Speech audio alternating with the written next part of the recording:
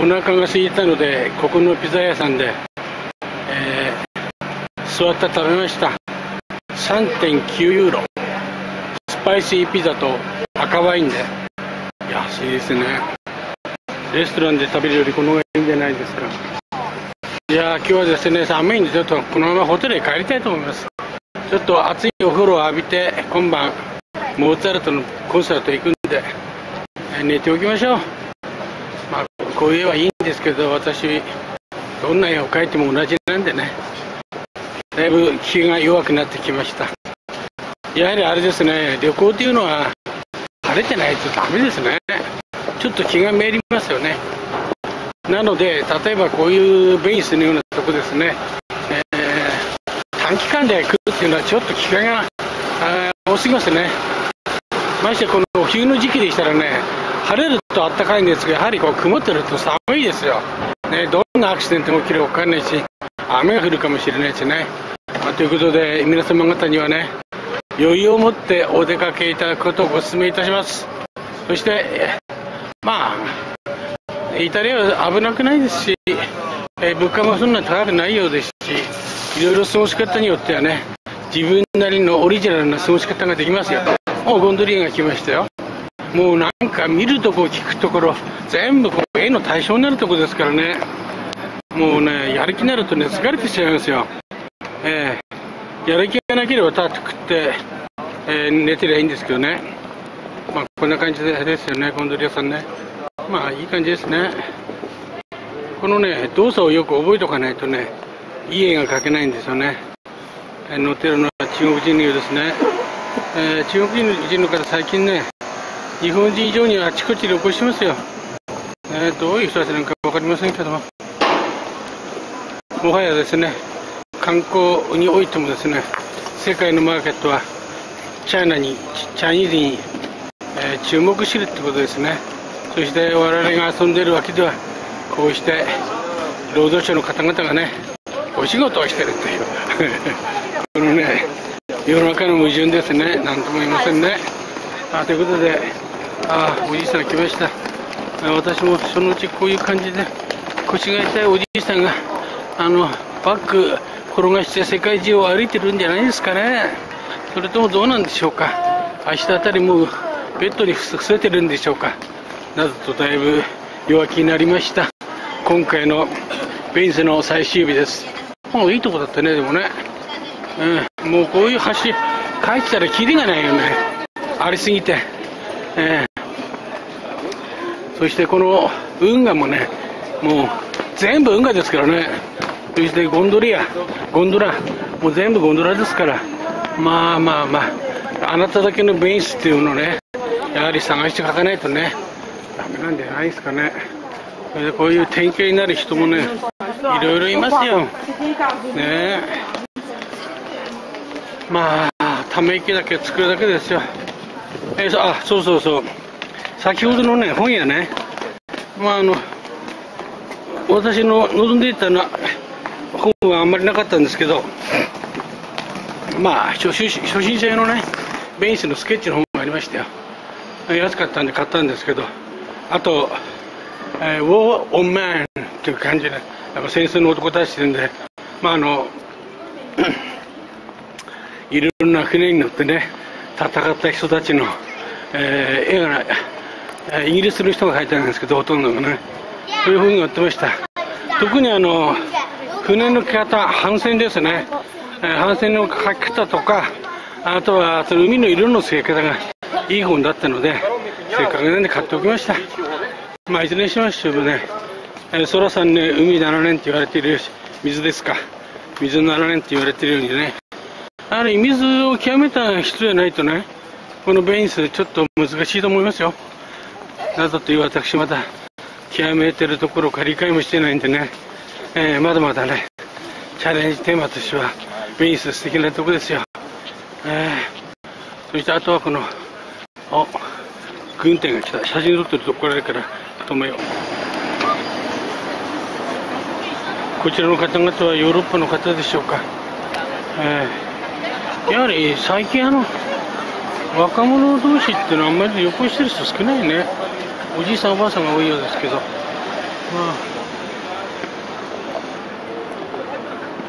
あ。やはり心とお金に余裕がないと旅っていうのはできないもんですねそしてあの私最近ちょっとね、えー、気がついてるんですけどねまああのいわゆるこの観光名所、まあ、そういうところを書脳でなければねあんまりこういうとこに来てもしょうがないっていうか日本でもね結構それはあの絵のね基本的な勉強できますしそれのできない人はこういうところに来てもね同じような絵しか描けないですよね。でそれでちょっと昨日あとパブ行って気づいたんですけどもあのまあ誰でもね丁寧に描ければ描けるような、まあ、ありきたりの絵をねまあ描いてもねしょうがないかなと思ったんです。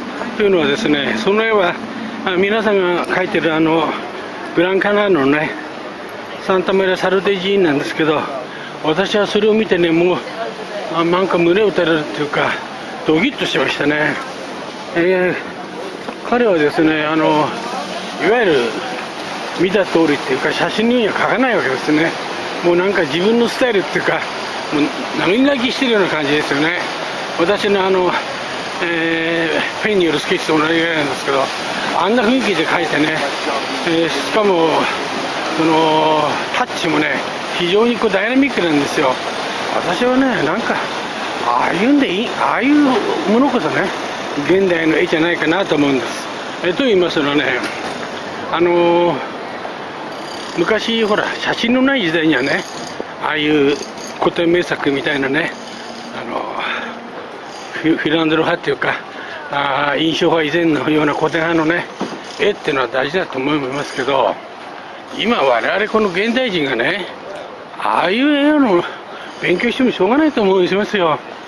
写真の方がはるかにね幻想的なその市場を訴える作品が作れますよね。えー、ということで、まあ、その丁寧にかけてきゃノーじゃないということを言いたいんですけどね、なんか自分なりのね、個性的な絵をね、描きゃいいんじゃないですか。えー、それでね、あの、私のホテルの近くの、まあ、ちょっといい、ちょっとしたいい画廊があったんですけどね、まあ、いろんなタイプの絵売ってましたよ。でもね、なんか、ある絵を見てたらね、それは写実的じゃないんですよね。なんかキュービズムみたいなね立体派みたいな感じで描いてたけどまあ彼女にするとねいいいいなって言ってましたね。うん。値段もそこそこしてましたよ。ですからねこのベンスもねこの水というのをねどういう表現するかってことですよ。これをこの丁寧にね描くだけが水の表現じゃないと私は思いましたよ。えー、ということでローマ広場ローマ橋まで来ました。私はこれからバスに乗って帰ろうかなと思います。ちょっとトイレ行きたいですね。なんかトイレあったような気がしたんで。有料トイレだけど行ってみましょう。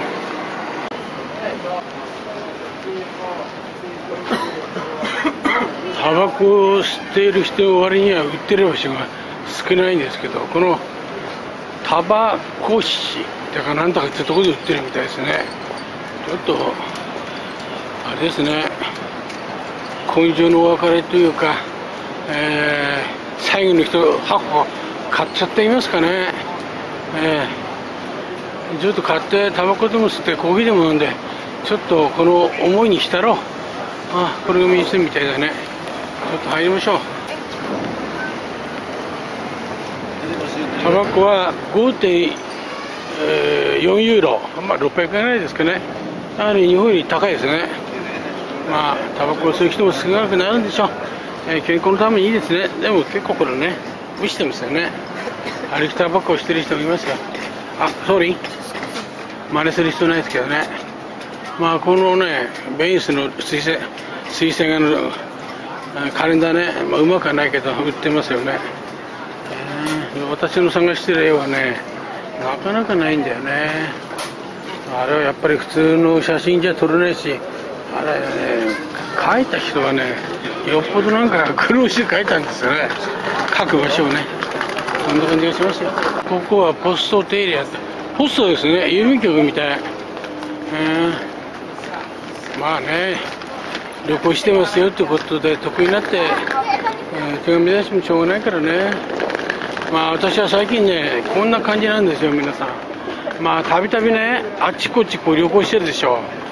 そうするとね周りの人からねまたですかっていうなんかそのいわゆるまた行くんですか？一つの考え方ね。よく伺いますね。二つ目何しに行くんですか？そんなに何回も。っていう感じ。そしてあるある時にはね嫌味ですよ。私たちがこんなに生活にの困窮してるのにまあ性格っていうか嫌味ですよねというような感じね。分かります言ってること。ですからねその旅をすること自体がねまあ楽しいっていうか得意になるっていうか人に自慢するっていうかまあそういう時代じゃないんですけどね。ないようですよ。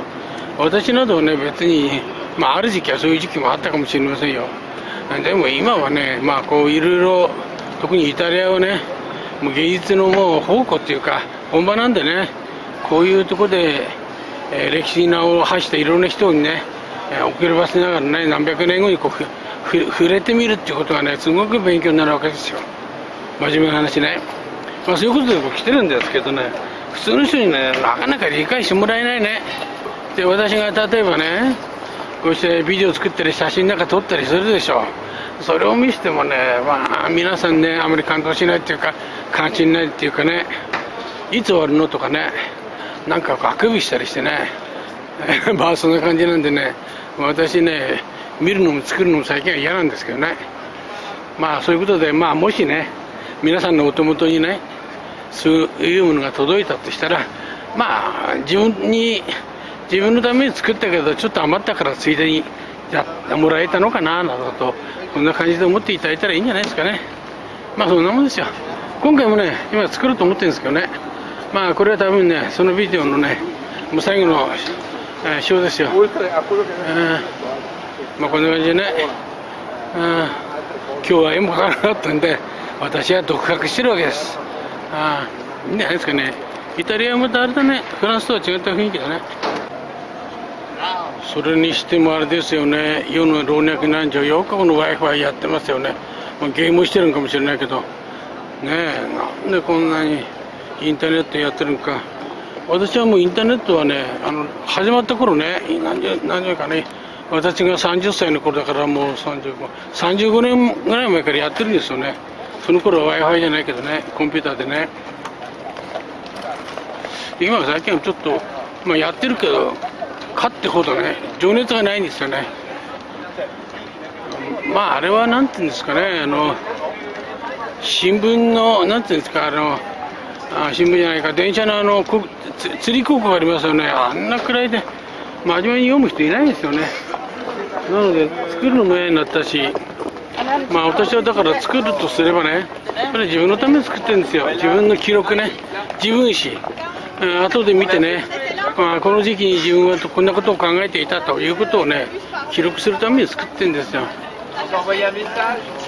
そうするとね、まあ、映像音楽あとはこういったセリフねそれによって私がどんなことを当時考えていたかってことがね分かるんですよね。というかあのというかですよ私が死んでしまえばね家族はそんなものに全く興味示さないと思いますけどね、えー、まあでも暇な人がいればね孫でもねおじいさんはどんな生活をしてたのかなとどんな気持ちでこんなガラクタのお土産買って集めたんだろうということをね考えたりするチャンスがあれば、まあ、その時にねあたまたま出てくればね見るんじゃないですかね、まあ、そんなことをね期待してね、え、作ってるんですよ。だから私が見せたいのはね孫ですね。もう子供は全く関心ないからね。もし孫がね将来こういう海外のいろんな文化とか旅にね興味持つようになった時にそれは先輩としてのおじいさんはどんな継ぎ方をしていたのかなということをね少しでもね知ってもらえばいいかと思いますよ。まあということでね私は最近あのお土産で買う品物もね将来孫に、えー、喜んで遺品としてね、えー、もらえるようなものをね買ってんですよね。今回もちょっと高かったんですけどあのー、ベネチアングラスで有名なムラーノというところでねいいもの買いましたよ。数万円ですけどね。ちょうど 数万円でもオーバーですけど1万数千円ですけどね。うちの家内と私のを思い出すような感じのフェアのねもの買いましたよ。皆さんにはね最後にお見せしますけどね。あれはちょうど、えー、下の息子の孫は孫はですね息子じゃないか娘があの女の子なんでね将来、えー、関心持つと思いますよ。そして、まあ、おじいさんとおばあさんの形見身代わりとしてね長い間大事にしてもらえば幸いですね。まあ大体家族って言ってもあれですね。なかなかね最近はいろいろな価値観があるし難しいものがありますよ。まあそれをね今の感覚で我々がねこびる必要もないしね。まあやれるように自分のスタイルでいけばいいんじゃないですかね。それが個性ってもんだと思いますよ。何やってんだろう。犬を連れたおじいさんが足の悪いおじいさんが散歩してますね。まあああいうのが我々の今後姿でしょうね。一方ですねこういう足が悪くなっても一緒に旅行してる夫婦もいますよ。まあどっちがいいかだね。まあお互いに可能な限り長生きした方がいいんでしょうね、えー、そんな感じしますよ。そしてまだ見ぬ世界そんなものをね共に体験してそして、えー、旅行に行かない時はね2人でこたつにやったって思い出話にかけるというのがね老後の楽しい過ごし方じゃないでしょうか。笑っちゃうね。まあそんなためにねこのビデオ役立つと思いますよ。私の彼もね大体作ったのは見ないんですけどね。ああ。でもまあ私が亡くなったりした場合にねもし捨てなければね東京に思い出すと思いますよ。あ図書館で貸してくれるあの観光ビデオよりもねこっちのが非常に迫力があるしね。まああの本人のね気持ちというのが十分入ってますよね、えー、これがあの船乗り場ですよね。ピザーラローマ私はここから何番線か分かんないけどサンムルク広場に帰るわけです。まあ絵も描いてないしね暇なんでちょっとばらついて様子見てるんですけどね、えー、まあ結構あれですね。冬でも観光客多いんだね。うん。一年中混んでるでしょうねここね。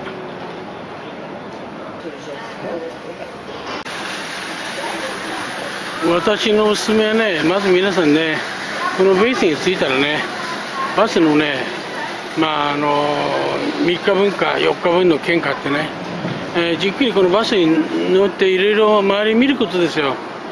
そうするとね、えー、自分のね、え、やりたいこと見たいことがねだんだん分かってきますよ。そして前にもちょっとお話ししましたけども地図見てね狭い路地を歩くんじゃなくてなるべくバスで行ってそこから歩いていくというやり方がね一番安全で近いですね。さあ来たいようですよ。乗りましょう。えー、それではですねバスがいよいよ出発するようですね、えー、寒いんですけど私あの船のバスの前方に乗りましたので、えー、皆さんはね、えこれからこの地図に沿ってご案内したいと思います。今いるのはねずっと左手のこの、え駅のあの近くですよね、えー、ベニスの駅ですね。中央駅ですね。あの映画懐かしい映画領上でキャサリー・ヘップバーンが涙を流し恋人と別れそして私はやっぱりローマ人にはなれない。普通のアメリカ人になるわということでね。アメリカへ帰る。あのシーンで有名なローマ橋、えー、ローマでローマの駅ですね。旅情ですよ旅情ね。あれの場面に出てくるとこです、えー、皆さんもし興味があればねそれをご覧になったらいかがでしょうか。そして今撮ってるのはですねこの地でいうとね。このなんていうんですか。S の字みたくなってるわけですね。大運河はね、えー、その中のこのね中間のねまさに S の逆字ですね。S の逆字のところを今通ってるわけです、えー、午前中はですね外側を通りました、えー、そこを通ってるわけですね。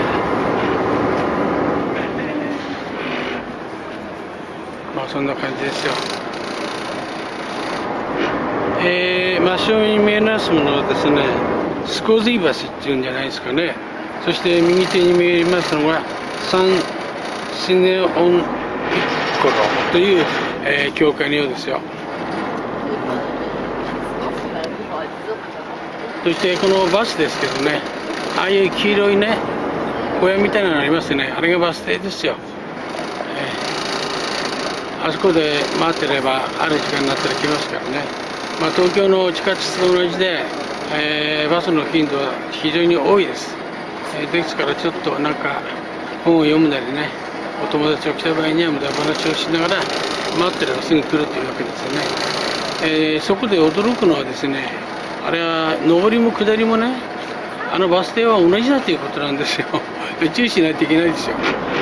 あのよく方向をね考えて乗らないとね別方向から出ます、えーバス停はね上りも下りも同じですということですね。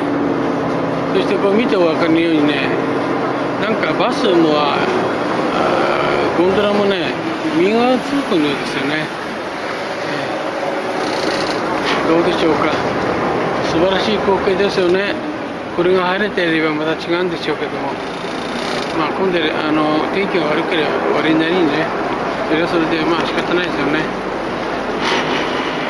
はい、これがフェーバーロビアっていうあの駅ですね。そしてまた一つ注意ですね。あの行き先によってね、えー、いくつかね ABCD ってなってましてね。どれか選ぶようになってるようですよ。ですからそれもよくね確認して乗るということです。まあ慌てないってことですね。まあベンソンまで来て慌てる必要ないですよ。ゆっくり行くわけです。ゆっくりね。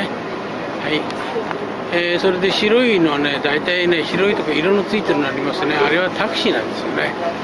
そしてあの杭がこの運河に立ってますよね。あれはあのボートとかねああいうタクシーを止めておく紐でロープでね結んでおく場所ですよ。だからあれを書くとねまあこれはベインスかと。なんか物をあのえー、止めておくとこだなってことが分かるわけですよね。そしてこの道端の通道路ですね。外国にはですねカフェがたくさんございますよ。そしてあのテーブルが置いてあってですね、まあ、あそこで待ってるとボーイさんが来てですねご注文は何にしますかと聞いてくるわけです。ただであの座るあの公衆用のベンチじゃないんですね、え十分お気をつけください。まあ、コーヒーもですね安いところは2.5ぐらいですからね300円日本と同じですね。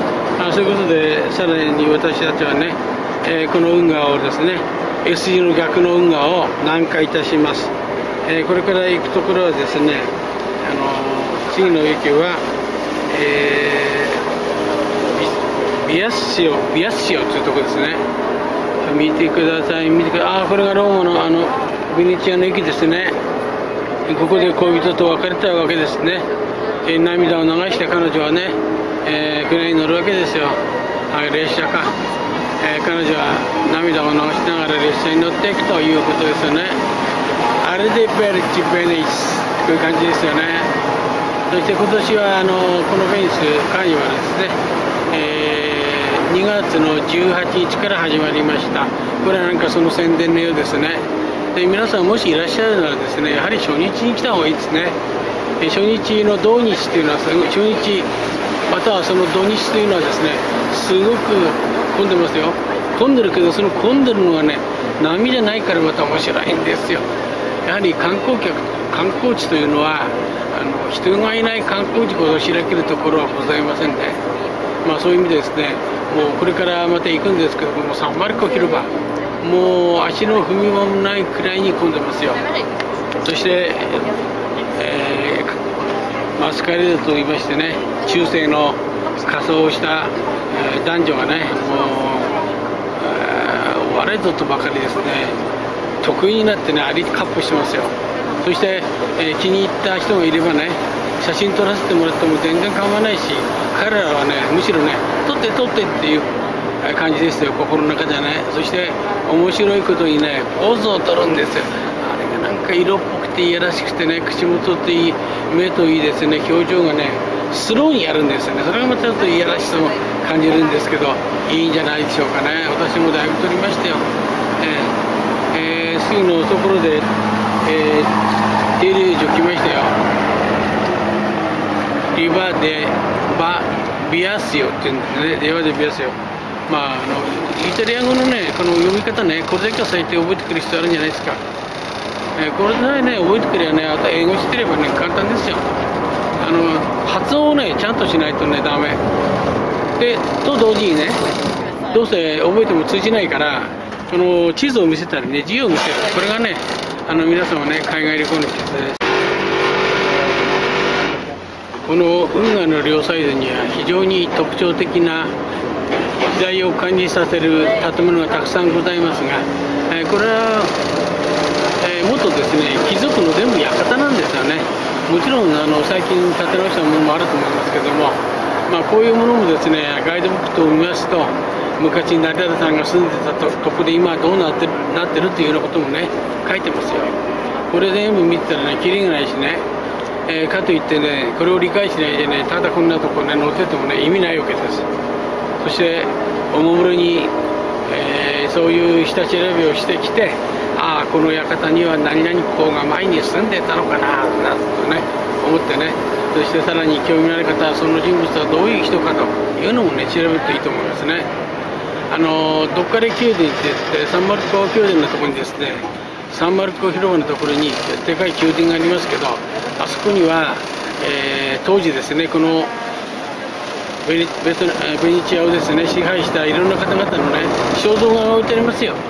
そしてどのような形でここを管理してたかというようなね、あのー、ことが分かる絵がたくさんございます、えー、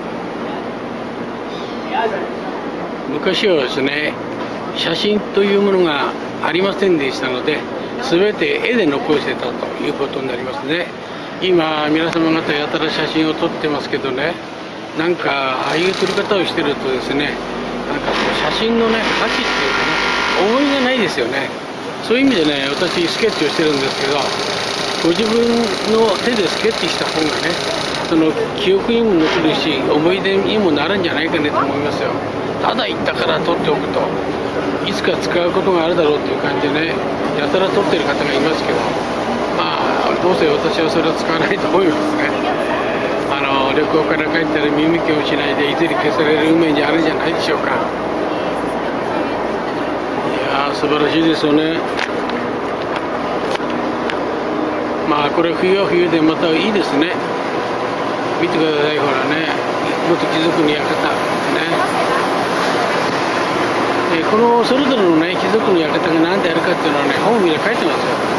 そしてあのこういう私が今見てるようなねこの絵で描いてる地図ねこれに書いてますからねまあ心配することないんですけどね。えー、さてさて、えー、次は何ていう駅行くんですかね。やはり今日はちょっと寒いせいでしょうか。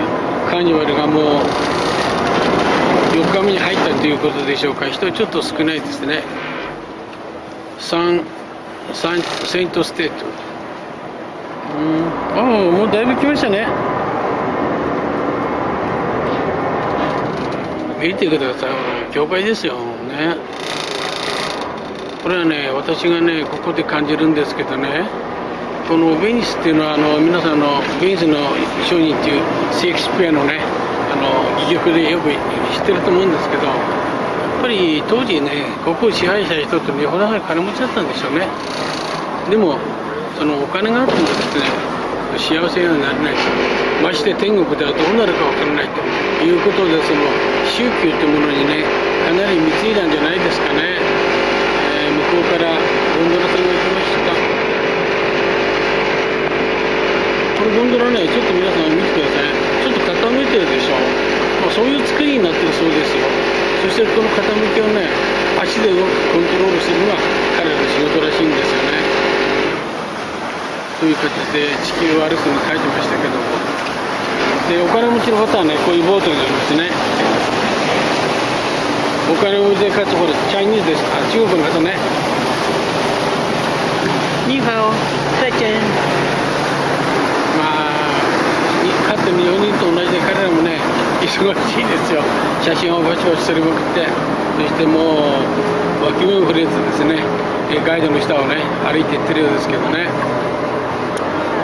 まああの悲しいことにね最近日本人はあんまり来てないですね。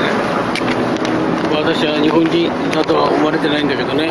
あの地図でいうとね今この中間あたりねこのぐるっと逆安になってる中間あたりですよ。よろしいでしょうか？いや今日は静かですね。まあいいね。まあですから2つ考え方がございましてねお祭りのような賑やかな時に来るのも楽しみの一つ。一方このような静かな時来るのも一つ、えー、両方味わうためにはやはり日程的な余裕が必要というものでしょう。おおゴンドラどっちがあそれでね皆さんねゴンドラっていうのはね前と後ろじゃないちょっと長さが違うんですよ。ああい長いのはね前の方なんですよね。で漕ぐ人はね後ろに乗ってるというふうに本に書いてました。あああの今ねこう横切ってるでしょ。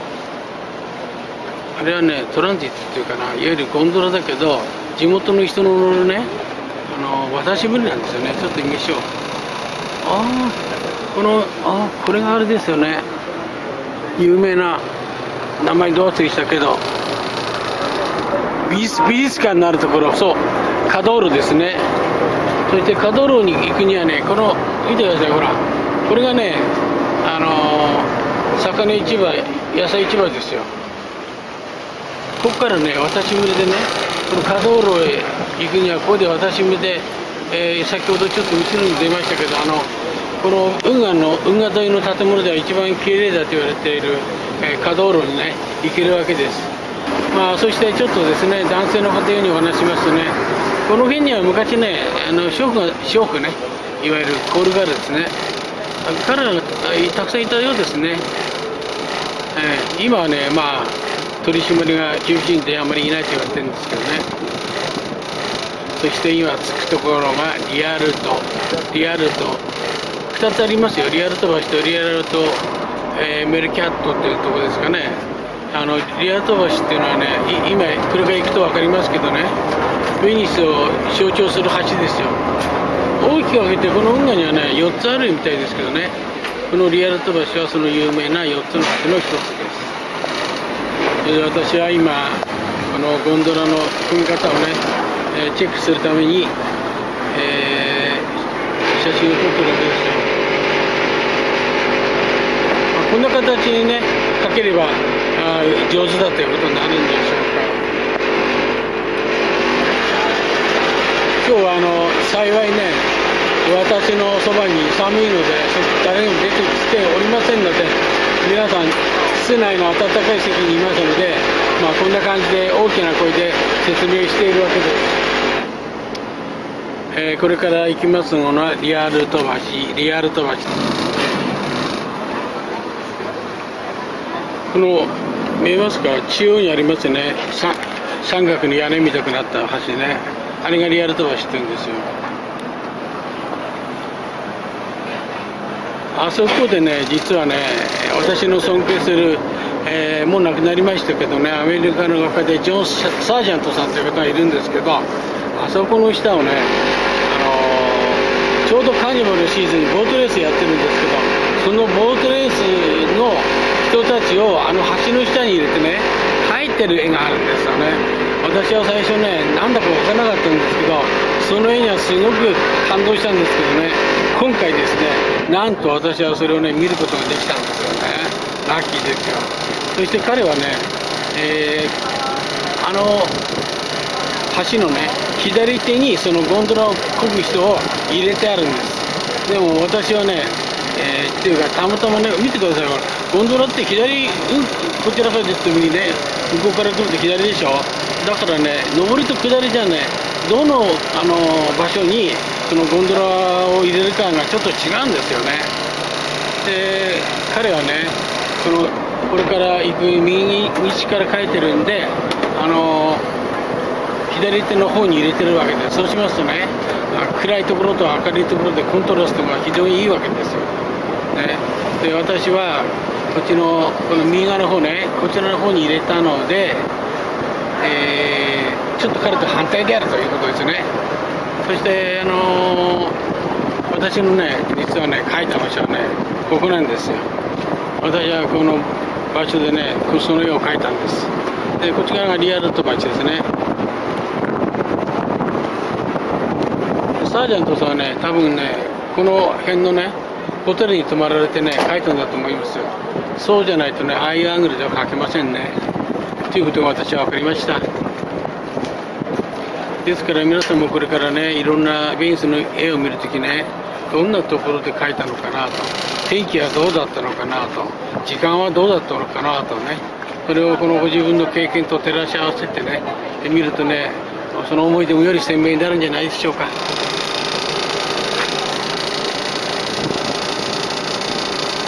あリアルトっていっぱいありますね俺駅がね。これですからその、えー、バスの路線によってね止まるところが違うんでしょうね。うわあすごいね。でもこの間もっと人がいましたよ。今見てるともう外の喫茶店には皆さんいませんからね。それと夜でもあまりね私は混んでるような感じしませんね。ですからこれあのベニスも最近はね供給過剰に過剰になってるんだと思いますよ。というか、まあ、世界中がね勝ってほど金持ちってなくなったんじゃないかなと思いますね。その感じですね。それであのちなみにねこのタクシーとかねゴンドラって結構高いって絞られますからね。皆さん私のようにねこのバスに乗ればねまあ感じることは同じですから。あとは本人がねどれだけそれを理解していてどう感じるかの問題なんでね。ゴンドラに乗ったからといってねベニスをより楽しめるっていうことはないんですよね。まあそういうようなことが旅行ですよ。昔の画家はねよくこの辺をね絵に描いてますよ。上り下り。私の尊敬する今度はあのえー、18世紀のねテルナットさんっていうあのベニスの画家はですねよく描いてますね。ただそれらの絵はねもうあのベニスにはないですね、えー、世界中のコレクター博物館あとはあの個人収集家がね買っててねベニスにはあのカルナットの絵もね23枚しかないみたいですね。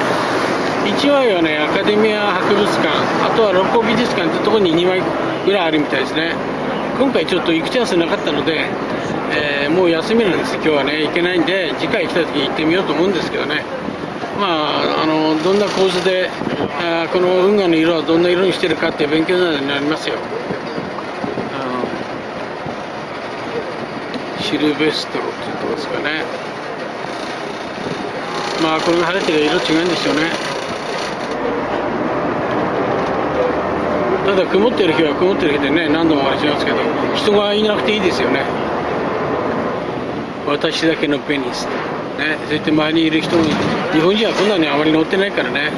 私の言ってるこれブツブツ言ってることを何言ってるかね。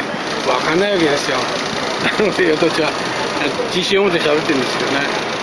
これがね一時期ねちゃんと聞かれたらね恥ずかしいですよね。もういい感じね。すごいですけどね。ああこういうあれだとあれだね。空気遠近法と言いましてね遠くものが薄く見えるでしょ。立体感が出ます。そしてこのゴンドリアのねゴンドラのこの色黒いですからね。ゴンドラって黒いんですよ。皆さん知ってますよね。黒いからねこういう感じではっきり見えるわけ。ね。あこれはいい天気ですよね。あこれはこれでいいと思いますよそれであのちょっと見てください。あの今ね EU はいろんな問題が起きてますけどこのイタリアね EU ですよね。もちろんね。あの大統領しょっちゅう買ってるみたいだけど、えー、この EU とのマークとねイタリアのマークね一緒に並べてありますから。えで私はね常日頃思ってるんですけど今 EU は分裂症ですけどもねやっぱりヨーロッパ一つですよ。どこ行っても。どういうことになるとねぜひぜひですねこの EU をね存続化してもらいたいんですよね。まあ通貨が同じだっていうことは非常に楽ですよ旅行してて。こんな感じですね。それで昨日ね気づいたんですけどねこのバスね定員っていうのはあるんかなと思ったんですけどね昨日も途中で沈没するんじゃないかと思うくらい乗ってましたよ。ああゴンドラゴンドラ。さあ誰が乗ってるか見てみよう。あとはあのゴンドラによってはね歌を歌ってくれるゴンドラがあるみたいですね。ただあの写真を撮りたい人はね乗らなくちゃダメですよね。まああのグループで乗って割り勘にすればいいんじゃないですかね。えー、本当静かですね今日はねまああと皆さんね私はそうするんですけどこういう風景をビデオに撮っておいてねちょっとおかしいところをカットしてそしてあのバックミュージック入れるんですよ。音楽というのはねあのーベニスはねバロックの世界ですよね。あの皆さんよくご存知の四季ね。四季。四季を作ったあの、えー、ビバルディさんね。これはねベニスの人ですよですからねまさにベニスにはねビバルディが合うわけです。そして単にあのビバルディのような、えー、原曲のようなあれもいいんですけどあれをねちょっとジャズ風にアレンジした式などと入れるとねいいんじゃないですかね、えー、私はそれを作ろうと思ってるんですけどね。ちょうどこのタクシーとゴンドラのすれ違う場面がありますね。今渡ろうとしてるんだけど渡らなくてずっと左に動いてるんですけどね。こちらのゴンドラさん右が熱いほどやってますよね。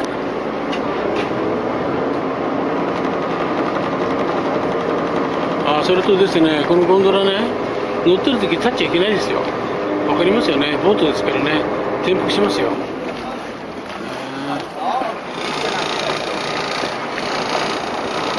やはり、あ、ポップスの世界ではこのシーンに合うのはあのフランスのシャンソン歌手シャル・アザナブールでしょうね。日本では加藤時子も歌ってますけど、まあ、彼女の歌は合わないですよね。やはりシャール・アザナブールに歌わせないとこの悲しみのビースはダメでしょう。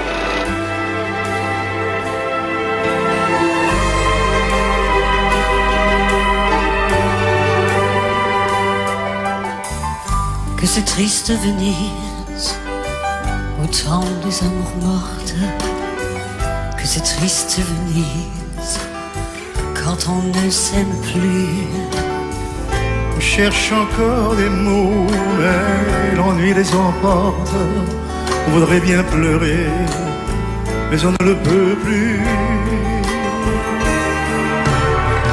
Que c'est triste Venise, lorsque les barcaroles ne viennent souligner que le silence creux. Et que le cœur se serre en voyant les gondoles abriter le bonheur des couples d'amour. Que c'est triste Venise, au temps des amours mortes. C'est triste Venise, quand on ne s'aime plus. Les musées, les églises, où autant leurs portes, inutile beauté devant nos yeux déçus. triste Venise, le soir sur la lagune, quand on cherche une main que l'on ne s'entend pas, que l'on ironise devant le clair de lune, pour tenter d'oublier ce que l'on se dit pas. Adieu tous les pigeons qui nous ont fait escorte adieu pour les soupirs, adieu rêve perdu. C'est trop triste Venise, au temps des amours mortes. C'est trop triste Venise, quand on ne s'aime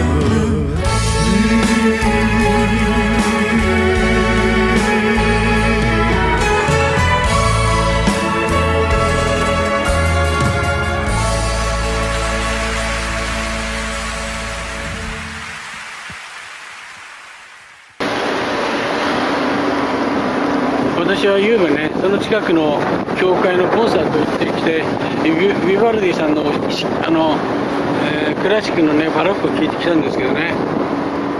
まあそれもね券売ってますよ。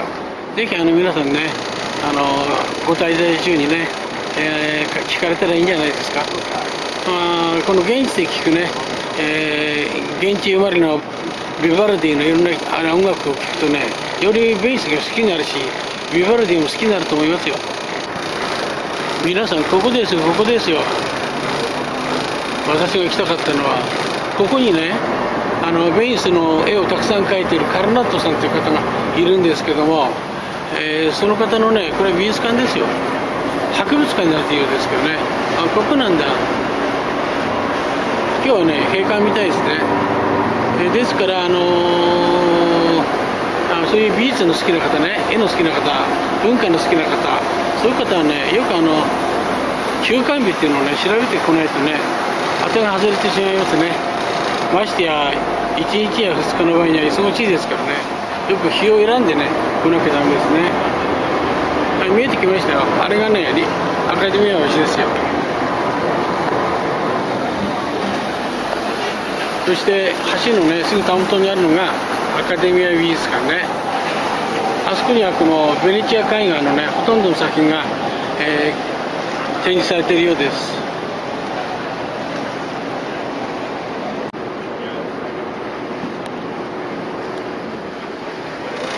わかりますかあれがアカデミア橋ですね。まああそこの上からね朝日の教会ですとか夕日の教会をね、えー写真いい写真が撮れますよ。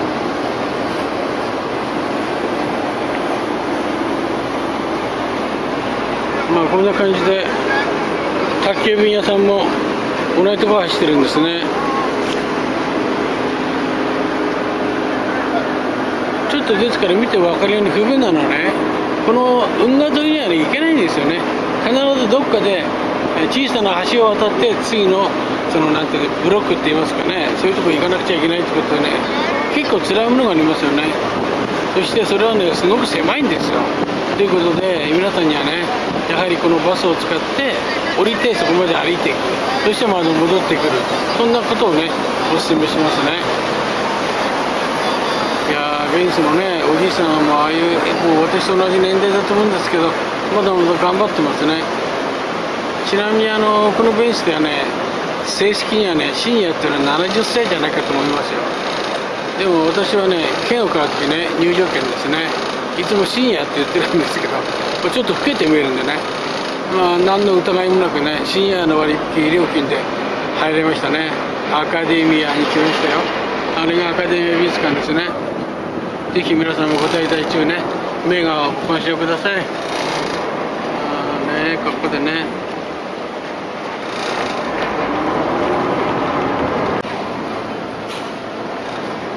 真正面に見えておりますのがねベニスを代表する教会ですよ。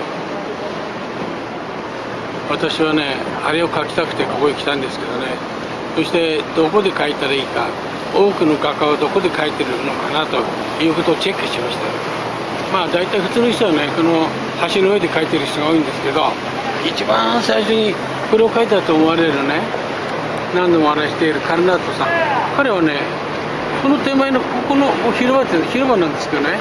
今船が入ってきましたけどあそこで書いたって言ってるんですけど夕べ行ってみたらねあそこからはねこの奥のね、えー教会はその絵のようには見えないし、えー今はもうないみたいですけどこの正面がねちょっと赤っぽい建物ありますね。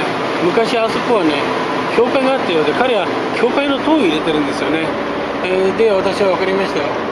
ああちょっと今はもうねそういうところないんだなということが分かったんですけどね。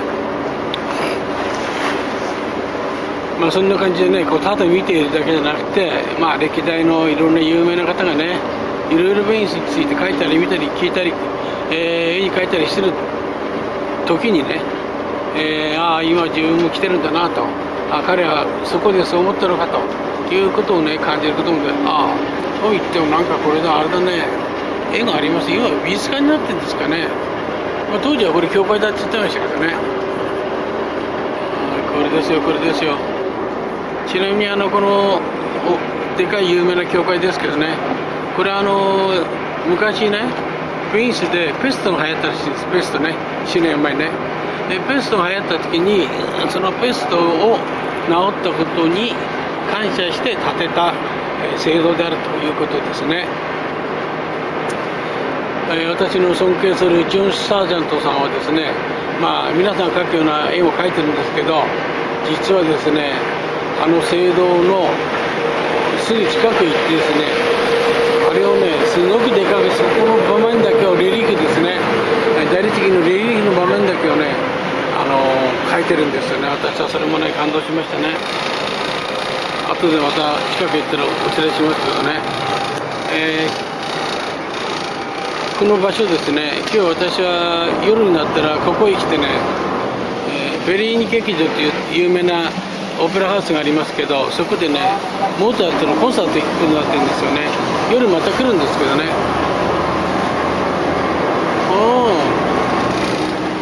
ここで描いた方がいい絵が描けるみたいでね。どうですかこのシーンね。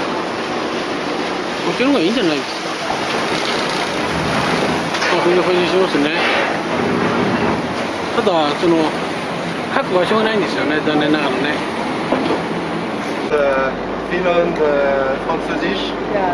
この正面を見ればね描きたくなりますよね。わかりますよその気持ち。えー、我々の船はですね、えー、これからサンメルパー広場へ行くんですけどね。次のホテル所はサンマルコっていうところだと思いますよサンマルコっていうのはあの厳密に言うとテール所が2つありますね。サンマルコとあとは松明かりやって向こう言うんですけどね。でこの右手にあるのはですねこれあの税関みたいですね。こちらが左手が、え、サンマルコの、え、駅ですね。まああのシーズンカーニバルのシーズン中はね、えー、ここからねあのカーニバルの行列が始まりましてそれはそれはすごいものでしたよ。そしてこの向こうに見えますのはね有名な教会が見えますね。実はこれがね一番私は絵になる光景だと思いますよ。今日は特に清めてますからね。いいですね。そしてこのカーニバルシーズン。あれを背景にね あのー、朝ですねマスケレードのお姉さんをねこの朝霧の中で撮る。これが最高ですよね。まあこれがもうまあえー、点数しますとね。200倍楽しめるって感じですね。ちょっと朝のこのビデオに入ってたかもしれません、えー、そして今なんかお隣のドイツの夫人はねベニスへ20回来てるそうです。で後ろの男性はね2回目だそうですけどね。私はもう2回目なんですけどね、まあ、今回ほどね楽しんだことないですよ、まあ、ここはね、それだけねあの楽しいところですね。I heard this is your 20th time. Yeah.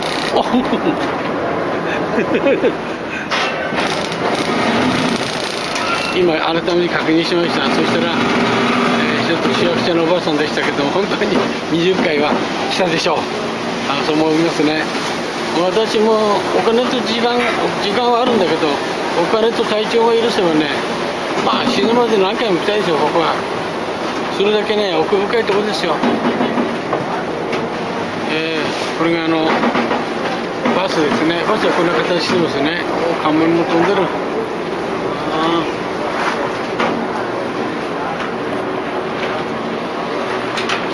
まあベンスはね大人のテーマパークですね。私はいろんな国を旅行してみましたけどベニスは最高。最高ですね。まあベニスに次次にいいのはまあ国全体としてはイギリスなんですけどもまあここに勝るところはないんじゃないでしょうか。